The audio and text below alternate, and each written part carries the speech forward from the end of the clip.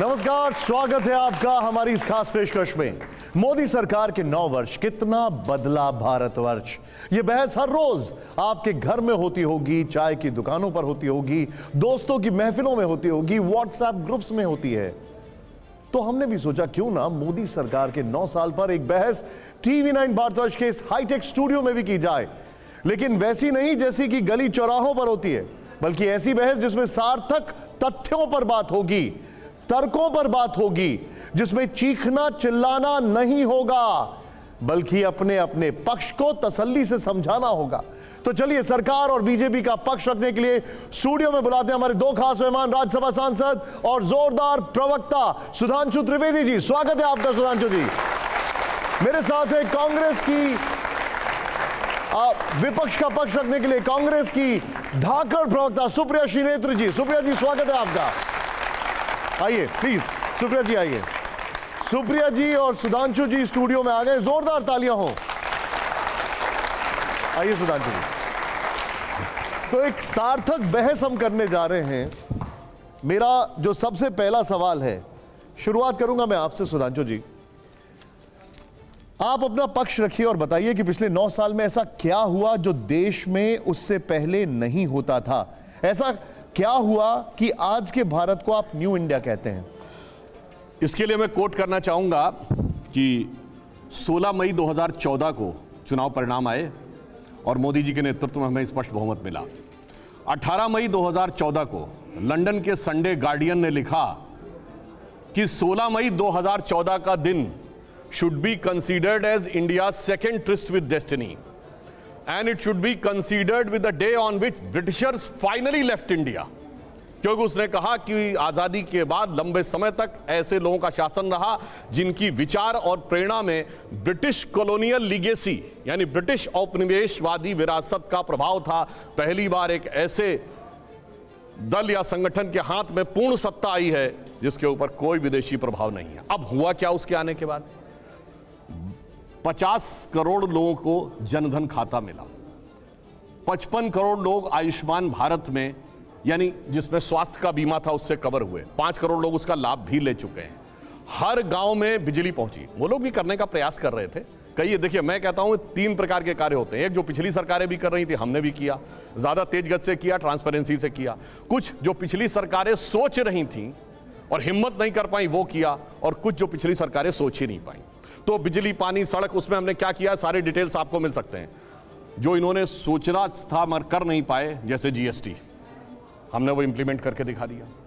तीसरी कुछ ऐसी चीज़ें हैं जो ये सोच भी नहीं पाए होंगे। जैसे सोलर एनर्जी में भारत बहुत आगे बढ़ा, वो तो एक अलग बात है। मगर एक इंटरनेशनल सोलर अलायंस बनेगा और उसका केंद्र भारत में होगा।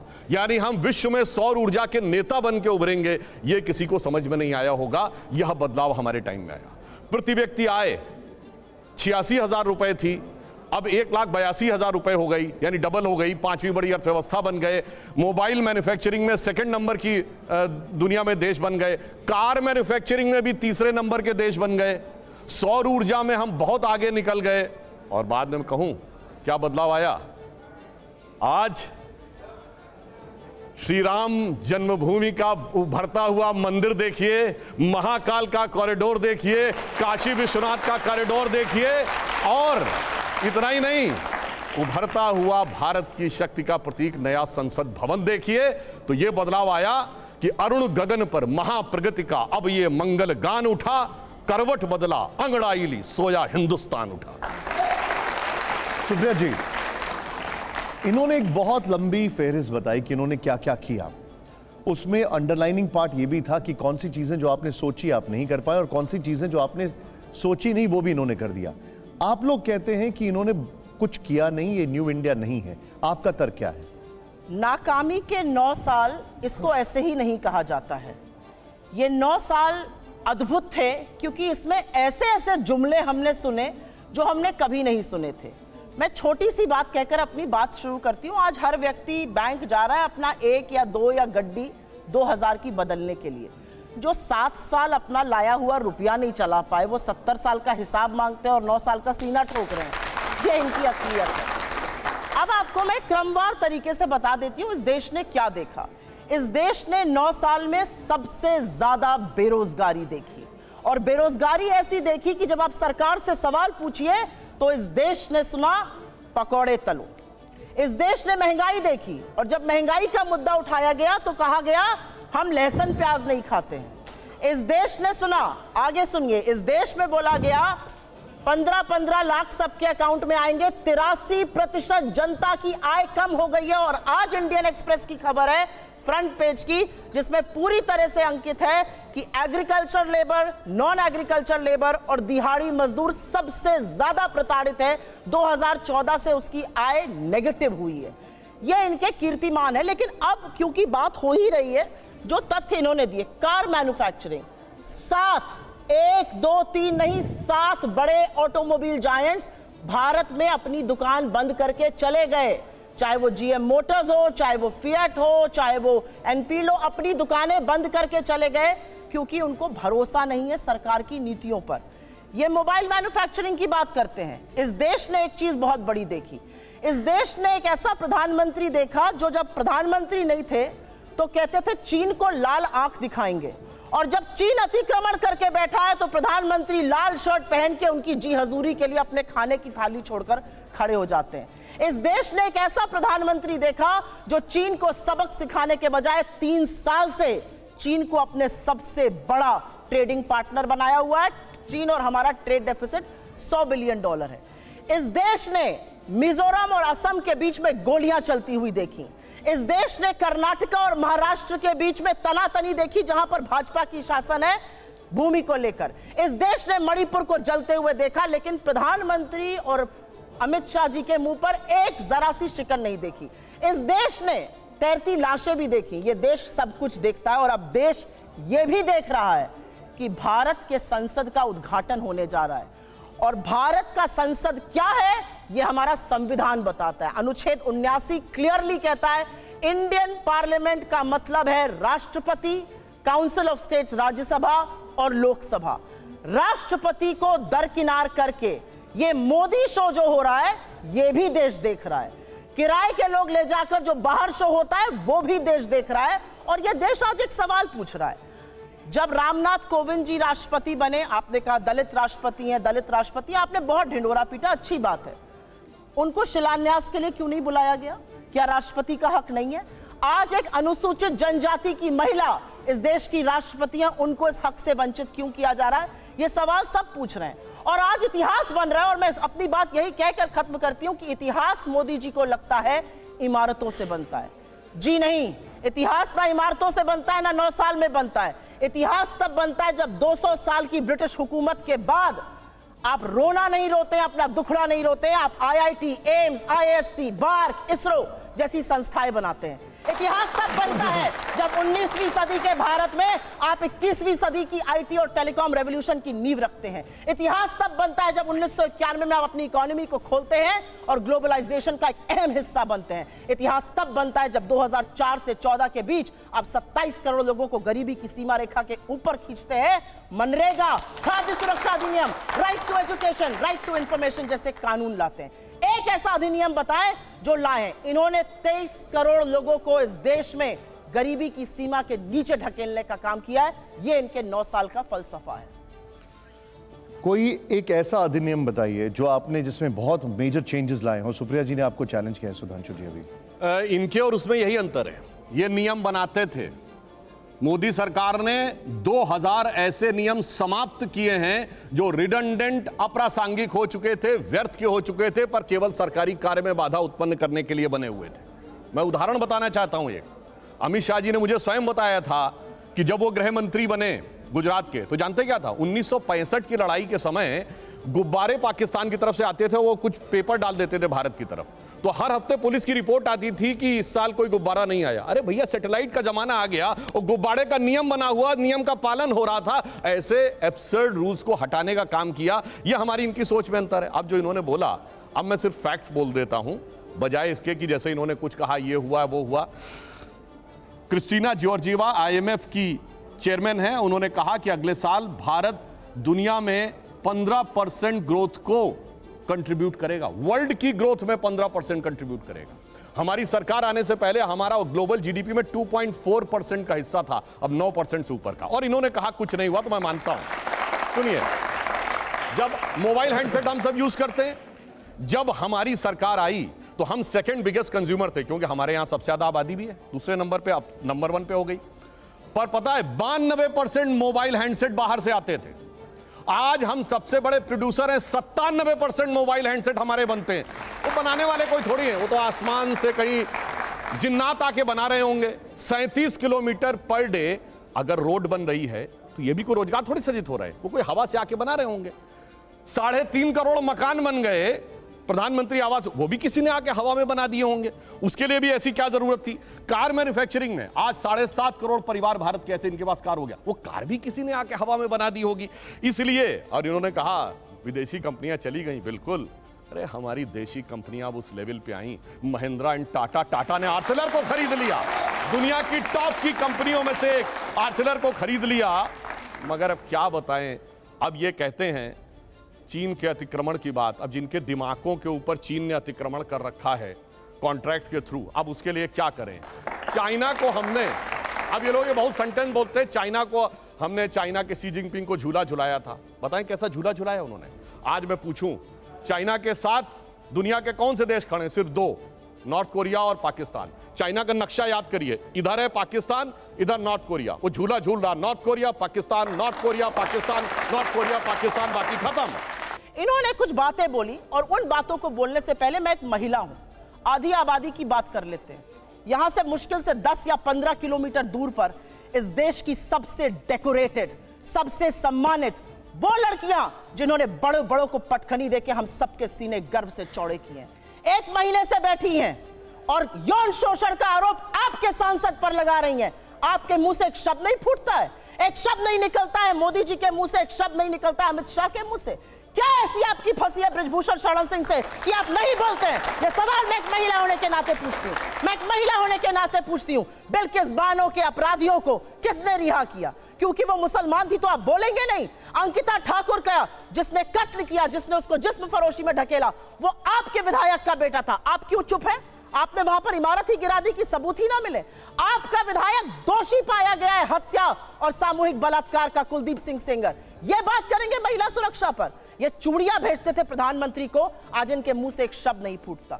महिलाएँ इस देश की पूछ रही और आपको भी पूछना चाहिए, क्यों चुप है मोदी सरकार? जब हमारी बेटियाँ जंतर मंतर पर एक महीने से बैठी हैं, उन लड़कियों के आँसू देखकर और आज की खबर फिर से मैं कोट कर रही हूँ।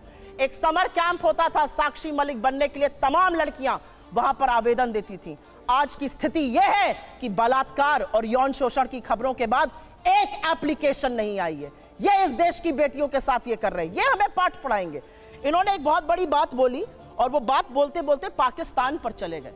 आज तक इस देश का यह न्याय था कि आज तक आईएसआई ने हमारी ज़मीन पर पैर नहीं रखा था।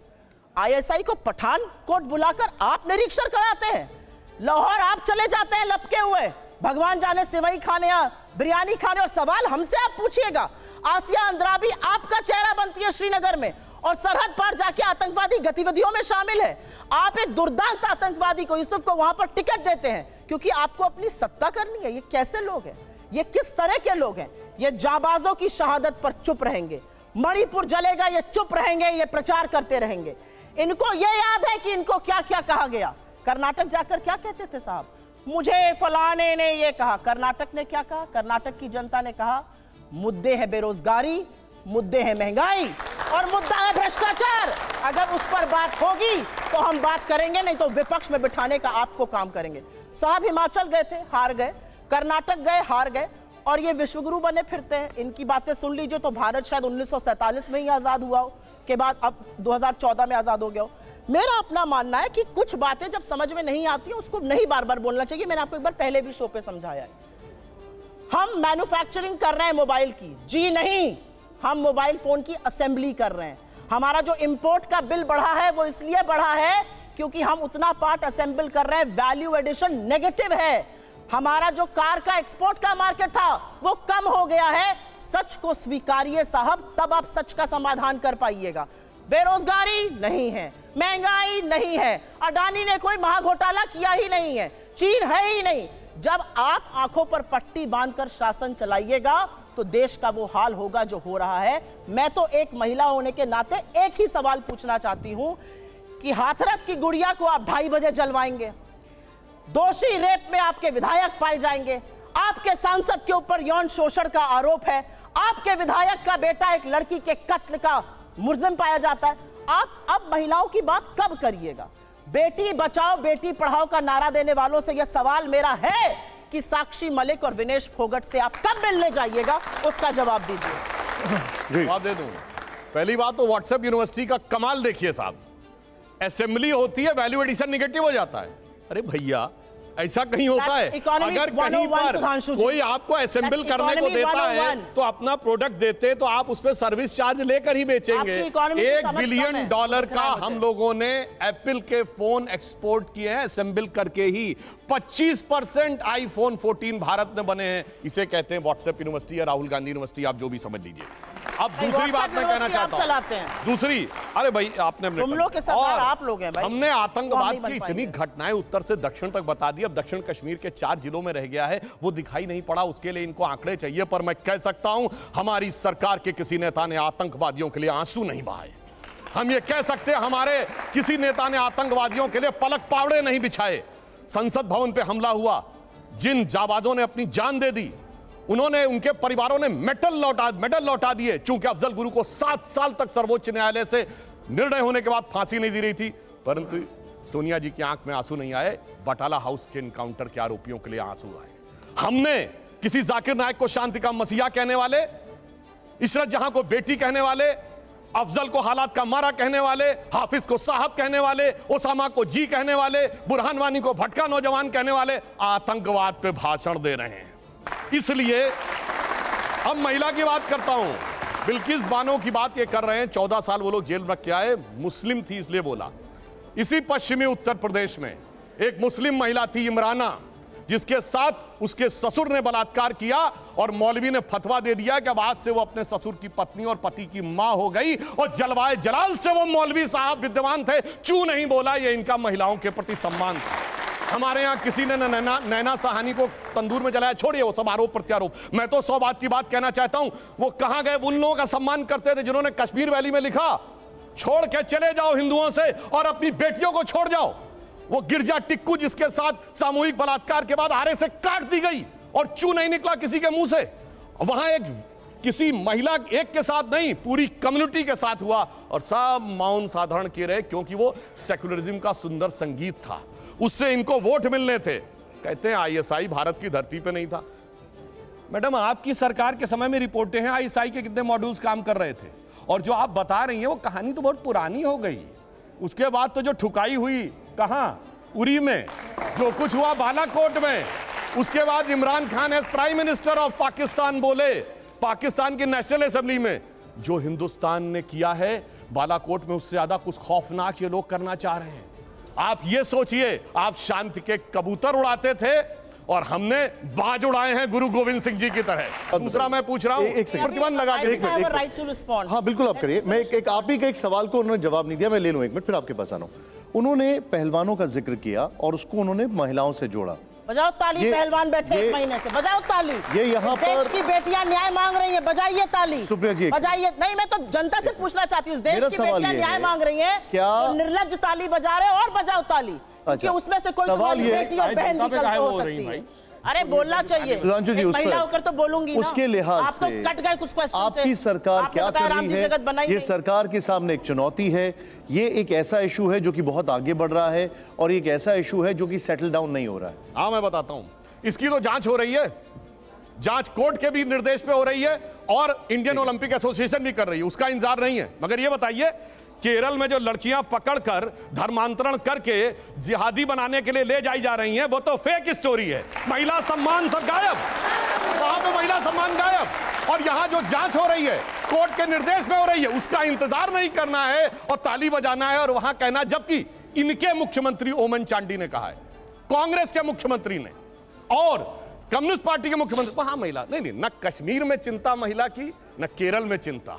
और जहाँ पर जाँच हो रही है, जाँच रिपोर्ट आने का इंतज़ार नहीं, सारी चिंता वहीं पे दिखाई पड़ती है। इसीलिए कहते हैं, अंदर से कुछ और, बाहर से कुछ और नज़र आते हैं।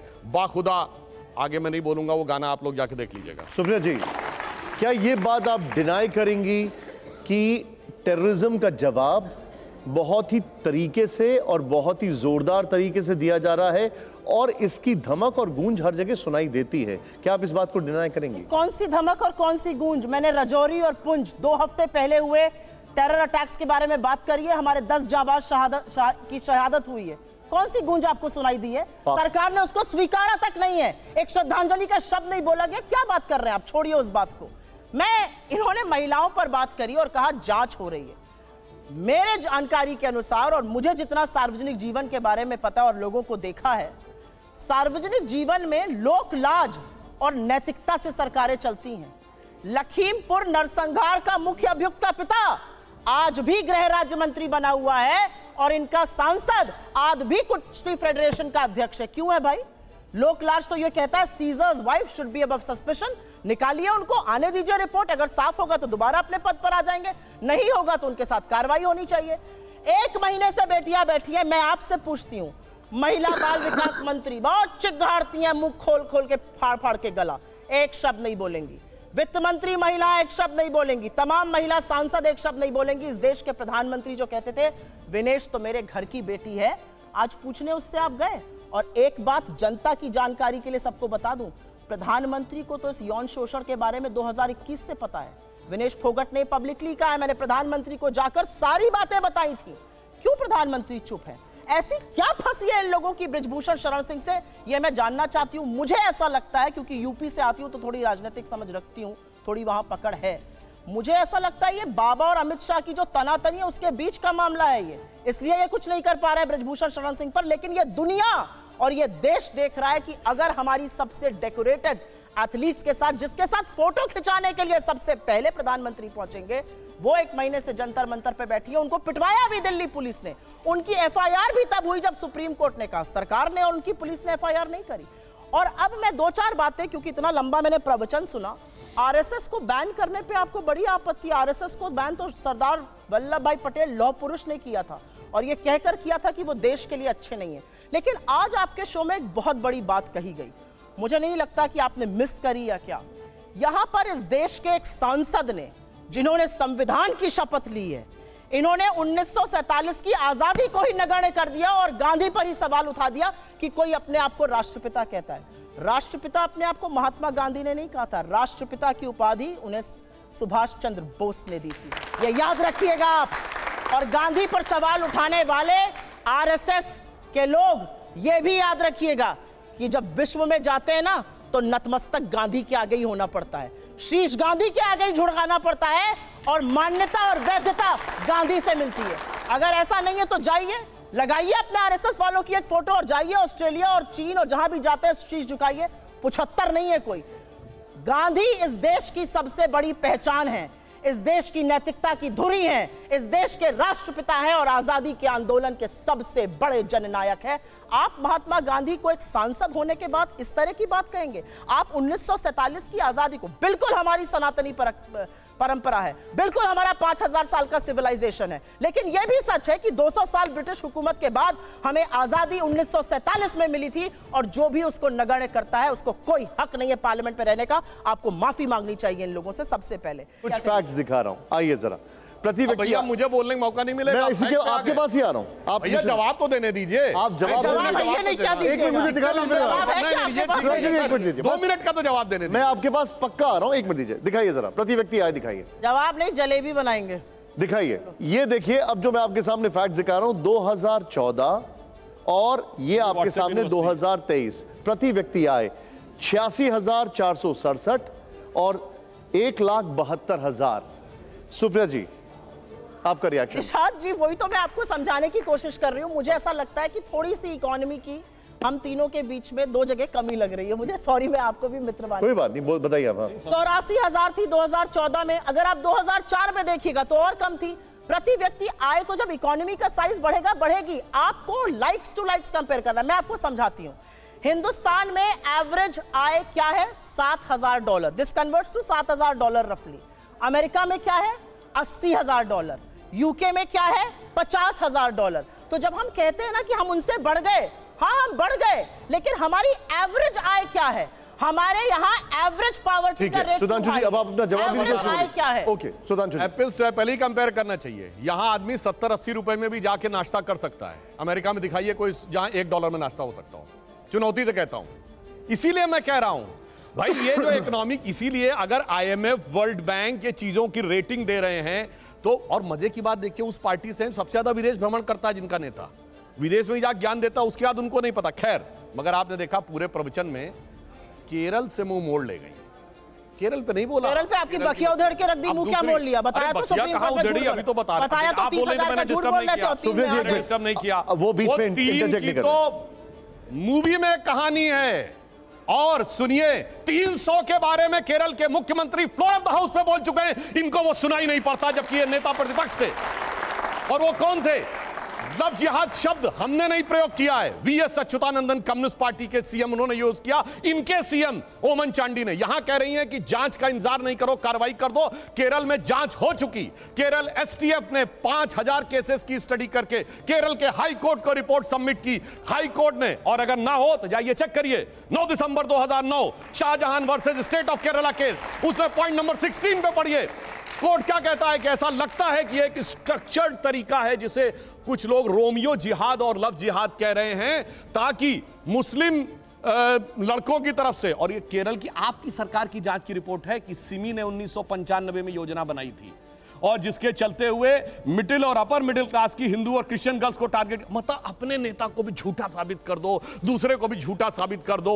उसके बाद कह दो ये व्हाट्सएप यूनिवर्सिटी है और फलाना ढिमाका ये सारी बातें। और दूसरा इन्होंने राष्ट्रपिता पे कहा तो हम तो सिर्फ़ ये कहना चाहते हैं हम तो इस देश को भारत माता मानते हैं। अब जो माता का पिता अपने को मानता हो वो इस बात के ऊपर विचार तो कर ले। बस यही अंतर है। और इनके मुँह से एक और बात निकली कि डायरेक्ट सवाल 200 साल की गुलामी 200 साल की गुलामी यही तो अंतर है। अरे गुलामी 200 के नहीं 800 साल की थी। अगर 200 साल की गुलामी थी, छत्रपति शिवाजी महाराज जिससे लड़ रहे थे, वो संघर्ष नहीं था। महाराणा प्रताप लड़ रहे थे, वो संघर्ष नहीं था। गुरु गोविंद सिंह लड़ रहे थे, यही अंतर है। इसीलिए मैंने जहाँ पहली बात कही थी, पहली बार एक ऐसी सत्ता आई है जिस पे विदेशी प्रभाव नहीं है। यह विदेशी प्रभाव है कि 200 साल की गुलामी में ही चलते रहते हैं। अब इन्होंने कहा, राज्य हारे, हम हारे मगर जानते क्या अंतर है? कर्नाटका में हमारा आज भी वोट शेयर 36 परसेंट है। जो हमारा, हम चुनाव हारे हैं, मगर हमारा vote percentage all time high है पचहत्तर साल का। और हम हिमाचल हारे हैं, जहाँ हम सैंतीस हज़ार वोट कम है पूरी हिमाचल स्टेट में, जितने में यहाँ एक कॉन्स्टिट्यूंसी मगर आप जहाँ हारे हैं, गुजरात में बत्तीस ऐसी थी, बत्तीस ऐसी कॉन्स्टिट्यूंसी थी जो सैतालीस से आज तक नहीं हारे थे, वोट परसेंटेज आधा रह गया। उत्तर प्रदेश में आज एक विधायक और एक सांसद, यानी सुनिए, लगभग सभी सीटों पे जमानत जब्त। यानी आज उत्तर प्रदेश में हालत यह है, गांधी परिवार के गृह राज्य में, कि आज तो उतनी भी मैं नहीं है मैं खाने में, जितनी हम छोड़ दिया करते थे पैमाने में। तो आप जहाँ हारे हैं, वो बर्बादी का सबब लेके आए हैं। हम और इन्होंने कहा दक्षिण का द्वार बंद हो गया। अच्छा बताइए, कर्नाटक से पहले कांग्रेस की दक्षिण के कितने राज्यों में सरकार थी? बोलिए। पहले आप ये बताइए दक्षिण के किस राज्य में सरकार चाहिए या ना तेलंगाना में थी, आंध्र में थी, तमिलनाडु में थी, कहीं नहीं थी सरकार। मुझे जवाब चाहिए क्योंकि आपके शो पर ये बड़ी बात हुई है। आपके शो पर ये बड़ी बात हुई है कि भाजपा के एक सांसद ने कहा है कि राष्ट्रपिता गलत है। अरे मैं कहता हूँ सनातन राष्ट्र है पाँच हज़ार साल आपने बोला तो अठारह सौ उनहत्तर में हुए कोई उत्पन्न हुए व्यक्ति राष्ट्रपिता कैसे हो गए भाई? पानी पीजिए अरे भाई, मैं तो कह रहा हूँ ना, पाँच हज़ार साल की सभ्यता थी ना। आप पहले ये बताइए राष्ट्रपिता कहना उनको गलत है या सही है? हाँ मैं बिल्कुल बताता हूँ। सुनिए भगवान सही? सुनिए। हाँ या ना में जवाब देना? बिल्कुल मैं बोल रहा हूँ। जवाब तो सुनिए ना। हाँ, जवाब जलेबी मत गांधी जी का महात्मा गांधी की बात हो रही है? गांधी जी का राजनीतिक दर्शन क्या था? राम राज्य। गांधी का अरे हाँ ना में जवाब दीजिए अरे सुनिए तो पहले। है मैंने डिस्टर्ब नहीं किया आपके बीच में गोडसे आप क्या अरे सुनिए तो भाई से बूंद डालो और आप यहाँ पे मुझसे आके बेकार की बात जवाब भाई, सवाल पूछा ये है नाथूराम अरे गोडसे जो की आप हड़बड़ा जो मेरे बगल में ज़िंदा है आपके सामने सुनिए ज़िंदा तो हड़बड़ाइए नहीं। गांधी जी का नृत्य का भजन था रघुपति राघव राजा राम गांधी जी का अंतिम शब्द था हे राम जो समाधि पर आज तक लिखा है। और भगवान राम ने क्या बोला? जननी जन्म भूमिश्व स्वर्गादपि गरीयसी। यदि वो इस देश को अपनी माता मानते हैं तो आप कैसे कह रहे हैं कि उनसे राम से ऊपर उनका कोई पिता हो गया? तो अब दूसरी बात मैं कहता हूँ और आपने तो 2007 में कोर्ट में हलफनामा दिया कि भगवान राम काल्पनिक थे। गांधी की आत्मा की हत्या की आपने। शरीर का हत्यारा। मैं कहने को तैयार हूँ कि उसको मुर्दाबाद कहिए। आप कहिए आत्मा का हत्यारा गांधी परिवार मुर्दाबाद। बोलिए मैं बोलने को तैयार हूँ। आप जिसने गांधी की गांधी की आत्मा राम को कह दिया कि वो थे ही नहीं। यानी महात्मा गांधी के समाज पर लिखा हे राम गलत है झूठ है। बोलिए। आपके सामने मेरे दो सिर्फ़ सीधे सवाल हैं। सीधे सवाल बताइए। ज़ोर से बोलिएगा नाथूराम गोडसे मुर्दाबाद। मैं कहता हूँ कहिए गांधी परिवार मुर्दाबाद। शरीर का हत्यारा बड़ा या आत्मा का हत्यारा बड़ा बोलिए। शरीर बड़ा कि आत्मा बड़ी बोलिए। गांधी राष्ट्रपिता एक व्यक्ति के लिए नहीं है। उस विचार के लिए बोलिए। मैं भी तैयार हूँ। बोलिए। चिल्लाइए मत बोलिए ना। अरे ज़ोर से आपने बोलने का आप करे अब चिल्लाइए मेरा बोलने का टर्न है। ये है आरएसएस की सोच और ये है नाथूराम गोडसे के वंशज। जो आज भी गांधी को क्षण क्षण मारते हैं। ये काली चरण से कम नहीं है इस देश के सांसद हैं इस पर मुझे दुख होता है। दुख है इस बात का कि इस देश के प्रधानमंत्री को वैधता गांधी से मिलती है। शीश गांधी के आगे झुकाना पड़ता है और यहाँ गांधी पर सवाल उठ रहा है। आपने सही कहा गांधी के अंतिम शब्द हे राम थे।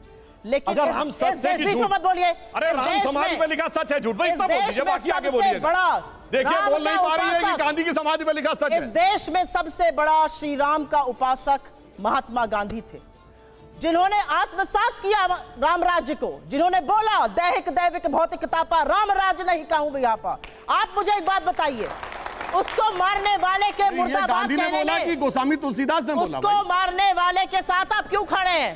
तो मैंने- कुछ भी कुछ मैंने भी। कहा आत्मसात किया सुना करिए कान में मैल है क्या साफ़ कराइए जाकर? आत्मसात करने को बोला। उसके हत्यारे के साथ आप खड़े हैं। और वही काम कर रहे हैं जो गोडसे ने किया। गांधी को आज भी आप क्षण क्षण मांगते हैं एक सांसद होने के बावजूद। नौ साल से एक मिनट मुझे बोलने मैम एक सेकंड। हम नौ साल से डिफ्लेक्ट करके उन्नीस के पहले चले एक मिनट मुझे ये बार-बार अब वहीं जाते हैं ना। जितनी देर ये लेगे तो उतनी देर तो मुझे भी हक हो है ना। लेकिन मुद्दे से तो भटक नहीं सकते ना मैम। मैं वापस आता हूँ। मैं एक डायरेक्ट सवाल पूछता हूँ। आज के हालात पर। आप ही के मंत्री हैं जितेंद्र सिंह। उन्होंने संसद में कहा बकायदा अभी दो महीने पहले कि सरकारी नौकरियों में, सरकारी सेंट्रल गवर्नमेंट की वैकेंसीज हैं 9.7 लाख और उसमें उन्होंने कहा कि रेलवे में खाली करीब तीन लाख, दो लाख तिरानवे हज़ार। क्या आपको लगता है कि ये एक ऐसा एरिया है या ये एक ऐसा एरिया और है जहाँ पर सरकार एम्प्लॉयमेंट जनरेट नहीं कर पाई, जहाँ पर हमें बहुत कुछ करना चाहिए था लेकिन वो फेलियर रहा और ये नौ साल में एक ऐसी चीज़ है जिसको शायद अच्छे तरीके से देखा जा सकता था। आ, मैं हवा में बात नहीं करूँगा पीरियोडिक लेबर सर्वे का डाटा जाके देख लीजिए। पिछले महीने में बेरोजगारी की दर चार दशमलव एक प्रतिशत पे आ गई है जो 2018 के बाद सबसे कम है। तो उसने कहा कोविड के बाद के दौर में भारत की अर्थव्यवस्था निकलकर सामने आ रही है। हवा में नहीं बोलूँगा जैसे लोग आके कह देते हैं पचास साल की सबसे बड़ी महँगाई पचास साल की सबसे बड़ी अर्थव्यवस्था खराब पचास साल की सबसे बड़ी बेरोजगारी मतलब जो सोना वोना गिरवी रखा गया था वो भी उसी में आ जाता है। इसलिए मैंने ये बात कही सरकार ने स्वरोजगार रोज़गार, प्राइवेट सेक्टर में और सरकारी, सब जगह सम, प्रचुर मात्रा में अवसर क्रिएट करने का प्रयास किया। परंतु पिछले दो वर्ष जो कोविड के कारण और रशिया यूक्रेन युद्ध के कारण जो परिस्थिति थी, इसीलिए मैंने पूछा है, दुनिया में कोई एक देश बता दीजिए, आज की डेट में जहाँ महँगाई की दर हमसे ज़्यादा हो, विकास की दर हमसे हमसे ज़्यादा हो, महँगाई की दर हमसे कम हो और बेरोजगारी की दर हमसे ज़्यादा हो। सुधांशु जी, एक और चीज़ है।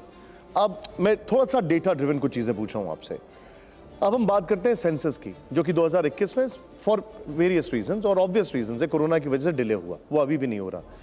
माइक्रो लेवल पर एनालिसिस में बड़ी दिक्कतें आती हैं अगर सेंसस नहीं आएगा 2021 के अनुसार 100 मिलियन था अब 140 मिलियन हो चुका है पॉपुलेशन ये सारी चीज़ों पर ध्यान क्यों नहीं दिया जा रहा? क्या दिक्कत है? 2021 में कोविड की वजह से सेंसस नहीं हो पाया है। अब परिस्थितियाँ सामान्य हुई हैं तो निश्चित रूप से जो भी निश्चित समयावधि होगी उसमें सेंसस हो जाएगा। नहीं लेकिन आपको लगता नहीं है कि कुछ ज़्यादा ही चीज़ें डिले होती जा रही हैं प्रोकेस्टिनेट होती जा रही हैं? हाँ मानी हुई बात है वो तो जो सेंसस डिपार्टमेंट है उसको तय करना था कि किस समय करना है और किस चीज़ को अधिक महत्व देना है। एक और चीज़ अगर मैं बात करूँ आप चाहे वो सिटीजनशिप अमेंडमेंट बिल हो चाहे वो फार्म्स लॉ हो ये वो चीज़ें हैं जो आप लोगों ने कुछ आउट ऑफ़ द बॉक्स करने की कोशिश की लेकिन हो नहीं पाई। क्या ये एक फेलियर नहीं है? देखिए, हमने परिवर्तन करने का प्रयास किया और बीच में चूँकि ये परिस्थितियाँ आ गई, कोविड की इसलिए नहीं इंप्लीमेंट हो पाया, पर हमने तो एक्ट पारित कर दिया। मगर अब इस देश में सोचिए, संविधान की दुहाई देने वालों ने संसद के पारित विधेयक के खिलाफ राज्यों में विधेयक पारित किया। सरासर असंवैधानिक कार्य। और नागरिकता तो राज्य का विषय नहीं है। नागरिकता के ऊपर किया। और इससे ज़्यादा मुझे पीड़ा इतनी ज़्यादा हुई, जिसकी कोई हद नहीं है, कि आप ये बताइए आप उन लोगों के बारे में सबूत मांगते थे जो प्रोसिक्यूशन सह सह कर भारत आ रहे थे। मतलब पाकिस्तान, बांग्लादेश में हिंदू, सिख, जैन बौद्धों के साथ क्या हो रहा था, इसके लिए इनको सबूत चाहिए था। परंतु उसके बाद कह रहे हैं कि साहब, उनके लोगों को क्यों नहीं इंक्लूड किया? मुझे लगता है कि कम से कम यह विषय सिर्फ़ राजनीति का नहीं, मानवीय संवेदना की परीक्षा का भी था, जिसमें विपक्ष बहुत गलत स्थिति में खड़ा हुआ नज़र आया। सुप्रिया जी, ऐसा तो संभव नहीं है ना कि कुछ भी नहीं अच्छा किया हो। कुछ भी अच्छा नहीं किया हो, ऐसा तो कुछ पॉसिबल हो ही नहीं सकता। कुछ तो ऐसा होगा जो इस सरकार ने ऐसा किया जो आपको लगता है कि वाकई में काबिल तारीफ़ है? इसका मैं जवाब दूँगी, मेरे पास है इसका जवाब, ऐसा नहीं है। अब इसका जवाब दूँगी। आपने तीन सवाल पूछे, तीनों का क्या जवाब मिला? सेंसस क्यों ना? सेंसस डिपार्टमेंट है। अरे भैया, सरकार तो आप ही चला रहे हैं, झुंझुना बजाने के लिए वहाँ पे बैठे हैं। पहली बात यह है। आपने पूछा नौकरियाँ दो साल से नहीं हुई है वैसे तो इतनी नौकरियाँ बन रही है। हिंदुस्तान में सबको नौकरियाँ मिल गई। कहाँ बेरोजगारी है कहाँ महँगाई है कहाँ करप्शन है। आज देश की यह स्थिति है कि हर साल दो करोड़ नौकरी का वादा करने वाले प्रधानमंत्री को अपने नवे वर्ष में। इकहत्तर हज़ार इकहत्तर हज़ार चिट्ठियाँ बांटनी पड़ रही है जो डाकिया घर लेके जाता था। ये नौकरी की स्थिति आ गई है। ये असलियत है इस देश में। आज अर्थव्यवस्था की असलियत यह है कि आपके तुगलकी फरमानों के चलते 8.2 परसेंट ग्रोथ की जीडीपी 4.1 पर कोरोना काल के पहले आप घसीट लाए थे। कोरोना के बाद की मैं बात नहीं कर रही हूँ। 45 वर्ष में सबसे ज़्यादा बेरोजगारी कोरोना के पहले थी। लेकिन चलिए, एक बात ज़रूर बोलना चाहती हूँ। आपने सीए और एनआरसी पर इनसे सवाल किया और किसान बिल पर किया। नई संसद का इनोग्रेशन हो रहा है ना? उस नई संसद में मैं भगवान से प्रार्थना करती हूँ कि लोकतंत्र की आत्मा की हत्या ये कम करेंगे। सीए एनआरसी आपने पास किया, साढ़े तीन साल हो गए। आज तक रूल्स नोटिफाई क्यों नहीं किए गए? वो भी झुंझुना था, सिर्फ़ पोलराइज करना था। रूल्स नोटिफाई आज तक नहीं हुए, साढ़े तीन साल हो गए। किसान बिल किसान बिल आपने पास किया था, साढ़े सात सौ किसानों की शहादत भी हो गई।